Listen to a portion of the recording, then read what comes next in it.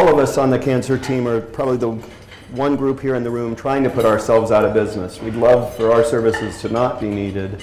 And what I really want to do is start with sort of a description of what I think uh, we'll accomplish today. And sadly, it won't be that aha moment where I unleash the secret that we've been holding on how do we all guarantee ourselves we can avoid cancer. But I do hope that we leave with a better and maybe deeper understanding of the right questions we should be asking uh, to say how do we achieve our best health and how do we have our best chance of avoiding cancer. And I'm going to do that by starting with a question that I'm asked most commonly when people find out I'm an oncologist, which is some variation of really, um, is cancer something we just have to live with? Is this something that is destined to be, or are there things we can do to help prevent uh, that occurrence? And if we're going to start a uh, discussion on, on cancer, there we go, on cancer, then we really have to understand what cancer is. And at the fundamental step, and if we're going to um, understand cancer, we have to first start with the understanding those are us, those are our cells. They're just misbehaving and not following sort of the rules that we've set. They're lumping up, clumping up, wanting to spread, and we need to understand how to fix then the environment we've set for them to give them the best uh, ability to survive. And what we've understood about cancer is it is a multi-step process. It's not a one thing happening event. Uh, for some patients, it may be starting with some genetics. Maybe our mom and dad gave us some risks that, that we're uh, born with. And then we might have an infection like human papillomavirus that puts us at even more risk of cancer. And then we may have an inflammatory event in our body with different medical conditions, or even expose ourselves to or be exposed to toxins. And all those steps may lead up to developing cancer. And I, I like one analogy a patient gave me, and he said, ah, well, this, this sounds like a, a, a car accident then. One, there's some things we could do that set ourselves more at risk of that. We might go out with some friends at night, have a little something to drink, get behind the wheel when we shouldn't, speed home, turn off the lights, red, run red lights, and that certainly increases our chances of being in an auto accident.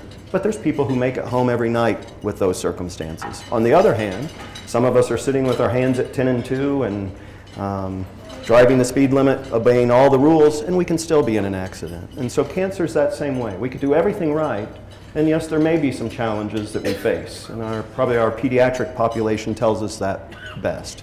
But there are definitely events we can try to avoid. And so we're really going to explore again, do our choices have consequence? And maybe more specifically, is cancer linked to those choices? And I'm going to start with the easy one, which is tobacco use. If we look at the graph here, it sort of shows, and it's small up there, but where the graph is at its lowest, then that's around 1900 to 1930. And lung cancer was a very non-existent thing in the United States. And in the 1930s, we chose to, to indulge a little bit more in tobacco. And as that incidence went up and peaked in the 1970s, almost 20 years to the date, the second curve over is the death rate from lung cancer. So it took 20 years, but almost an exact replica of the use to cancer death mimics one another. And now that it's going down the use, we're seeing 20 years to the date, luckily the death rate from cancer of the lung going down. So, what though was the main risk from uh, cancer death at the turn of the century? Was it lung cancer again, or breast cancer, prostate cancer? Surprisingly, and again, this is too small for me to read from here, so I'm sure it is for you too, but at the very edge of that curve is stomach cancer. The turn of the century, stomach cancer was the number one cause of death in the United States. As we started developing, though, refrigeration and, and stopped curing our foods in the same manner, now stomach cancer is a very rare occurrence to have. So our consequences, or our actions had effect and consequence. Sadly, we replaced that with lung cancer, and the curve shot way up even above stomach cancer with lung cancer. Now, lung cancer is coming down, but we have to ask ourselves instead of being reactionary, what's coming next? What's going to replace lung cancer? And this might not be a surprising graph, and, and we can all see red from a far distance, and red usually doesn't mean such a good thing. In 1992, the first little state up there in the, in the top, these are the number of states that were in crisis with obesity. And we had very few in crisis, uh, none in fact. By 2006, we only had two lone states standing in a non-crisis situation with obesity in this country, and I'll sadly tell you, Utah was the last holdout and it fell nearly five years ago. So we have a whole country in crisis for obesity. And should that matter to us? Well, this we can explore and these little circles represent sort of the effects of different conditions on the leading cause of death in the United States. And the two biggest circles are yellow being heart disease currently, and orange being cancer, which dwarfs all the other risks uh, combined. We can fit all those circles into those two many times over. A different way to look at this would be the one side, the blue, the top two lines being um, cancer and heart disease again as the leading cause of death. This is around 2000. But I'd really explain that more as a symptom or a sign or an end event than the actual cause. The orange is more the cause, which says tobacco and dietary changes are absolutely at the heart of that decision. And again, this curve was back in 2000. Uh, sadly, uh, the obesity and diet changes have now surpassed tobacco as the leading cause of death for this country. Now, how we can link then cancer to possibly our dietary changes or um, cancer risk is we've gotten away from thinking things in silos. We used to think in a heart, a lung, a cancer, diabetes mindset instead of understanding this is just you. It's your whole body. We have to understand if we put risk at one place, another risk goes up with it. Luckily, if we fix some of those risks, all the risks go down together. At the more granular level, what we're starting to understand about why we have to be concerned about obesity, why we have to be concerned about our diet, comes from this slide. Obesity is a symptom as well, and it's a symptom of something called metabolic syndrome. Metabolic syndrome is an inflammatory condition that the body has to live in that's mimicked by we gain a little extra weight, we maybe have something called borderline blood pressure, borderline diabetes, borderline this, that, and the other, showing that we're starting on a path to where our body does not like the environment we're creating. The end part of that metabolic syndrome is when we truly then start needing to medicate those conditions. And the next step beyond a life of nearly 20 years of metabolic syndrome is end events, heart attacks, strokes, cancer. And that's why that curve, if we think back to that lung cancer uh, curve, use versus when we see the condition has that time difference of nearly 20 years. More specifically, though, we've come to understand when we gain weight, most of us gain weight in fat cells. It's not muscle, it's not bone, it's, it's fat cells. And we need fat. Fat's a very important part of our body. But we've often thought of it like a blubber layer, and that's not at all what it is. It's a part of our endocrine organ, much like our thyroid gland or our pituitary gland. It's a glandular organ that's very important to our function. But when we get too much of it, it's being what we call deemed toxic fat. And toxic fat, unfortunately, starts putting out enzymes into our body. Now they've been given a name adipokines or fat cell enzymes. And this little wheel uh, to the side there of uh, alphabet soup of letters is really the who's who's list of everything we've been trying to turn off in cancer for the last 30 years. Everything that we know drives the cause of cancer and really shares a similar uh, correlation with heart disease. The fat cells dump in buckets when we get to a certain level. So we have to address this if we're not going to see the same health crisis we saw with smoking now come from obesity. The Lancet, uh, well-respected medical journal, uh, often looks at what are the risks to different countries and burdens uh, on society, and they've clearly identified uh, the American diet as the major risk we all face uh, right now. It has changed in such a dramatic way in such a short time period, we have to look at that awareness and say, is that what we want to move forward with?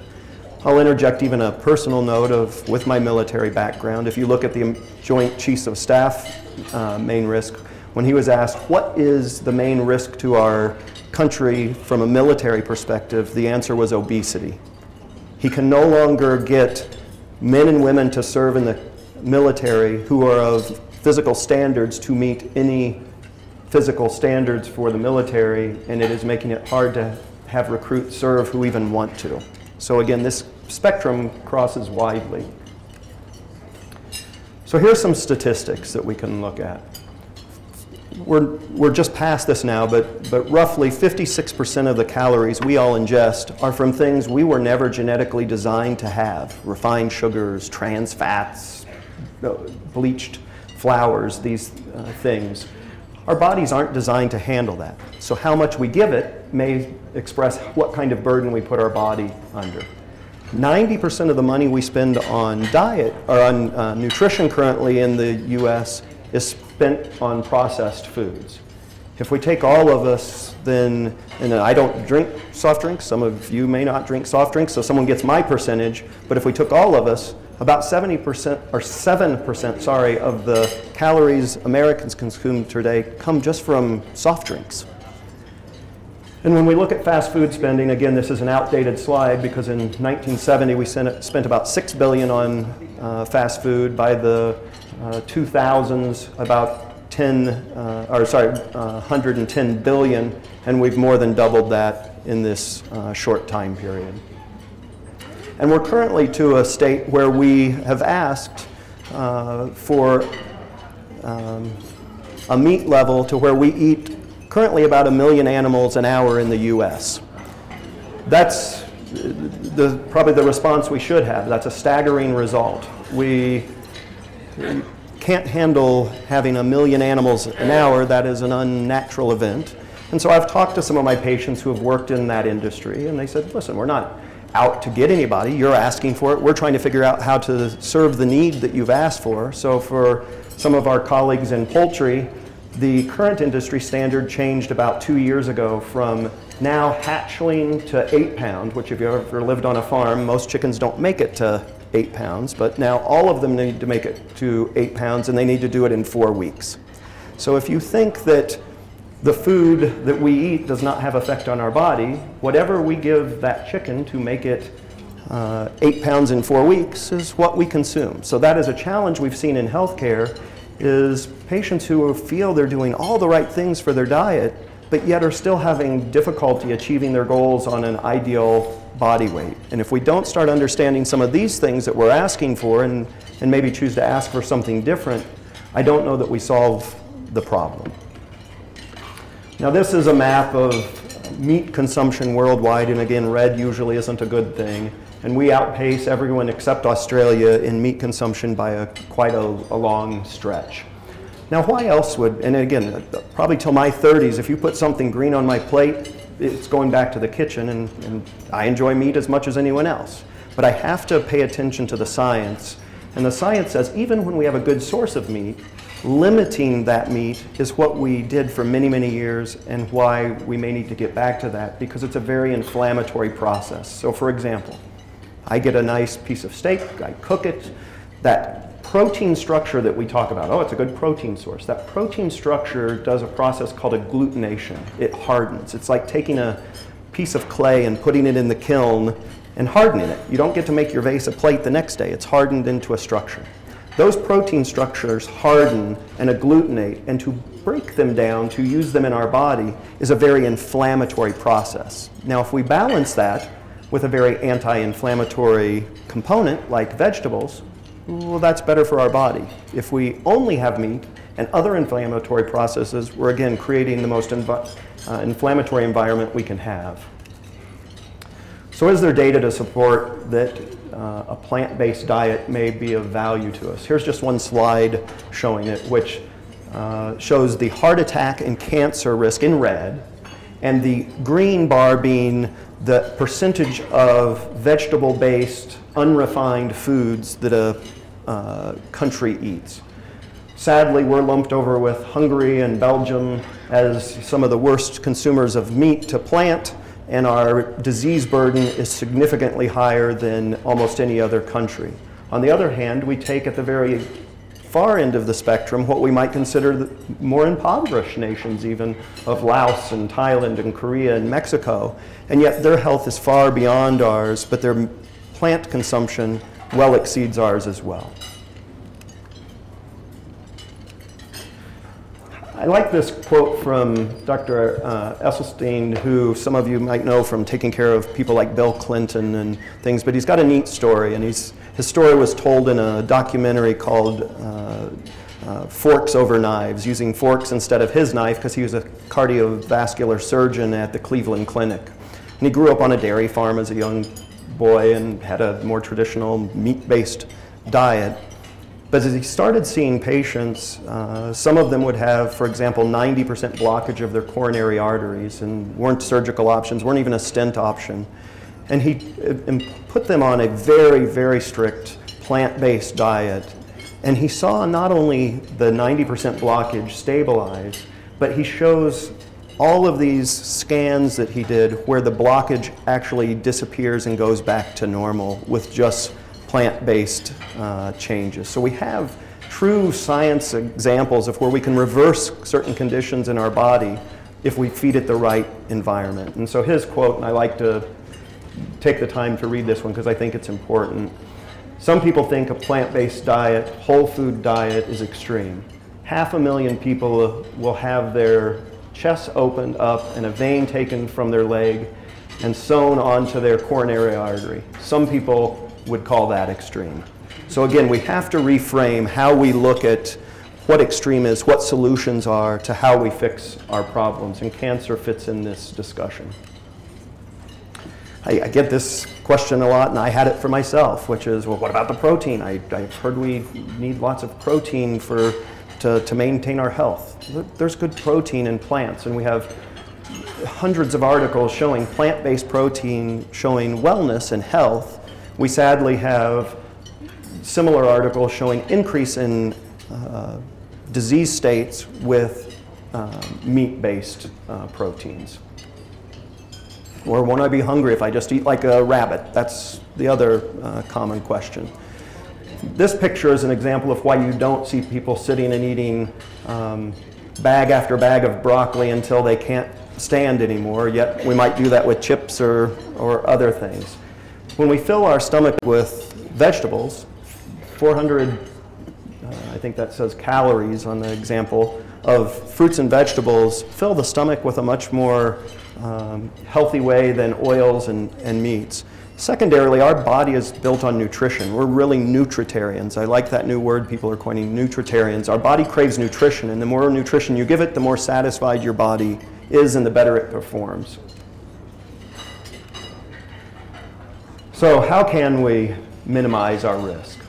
Well, we can avoid some of the known factors that we have. We can maintain a healthy weight, um, live an active lifestyle. The NCI estimates, and this is probably a conservative estimate, we could eliminate 600,000 cancer deaths every single year, or 50% of those cancer deaths we see every year, just by avoiding smoking. Now, we can either choose personal choice, and that's okay. But if we want to cure cancer, I don't know that a, every 5K is going to cure it. We have to take on some of these tough topics of diet and uh, tobacco. And I can just tell you that obesity is going to make this pale in comparison to smoking. What we're revved up for and what we're expecting from a cancer standpoint and why this is so personal and important to me is going back to that smoking example. The problem, the death, the carnage from cancer came about 20 to 30 years after the events. Right now we're seeing the group of patients in their teens, starting around 13, who have metabolic syndrome already. They're taking anti-diabetes medicines, they're taking antihypertensives, is growing and exponentially higher and higher. Uh, so we anticipate 20 years from that is when we should see them unfortunately coming to my office, which means instead of where many of us might face this question and how do I deal with my cancer in our 60s and 70s, we're now expecting that discussion to start in our 30s. This last February, we got the first peak of this is already happening. It has started. the rates of colon and rectal cancer is now growing exponentially in the 30 year old crowd to 50 year old crowd. It is going to cripple the system. So if we look at again some examples of does this have value, we can look at these blue zones, popular uh, sort of dialogue and books that shows where are the people that live to 100? Where are these populations of people who live healthy, happy lives into their hundreds? And there's these zones, Loma Linda, California being uh, one of those at least closest to us. And the thing they share, and it's again too hard for me to even read from here, so I know it's too small to see, but the core where all these areas cross over is one, there's a strong family value where people support each other. There's a strong community where we all work to help each other out. There's an active lifestyle where people spend time outdoors and are engaged. But a plant based diet is at the core of every one of those societies uh, as well. So I'd argue that we need to start focusing on food being our medicine and how we choose to address how we move forward with how we feed and uh, heal ourselves.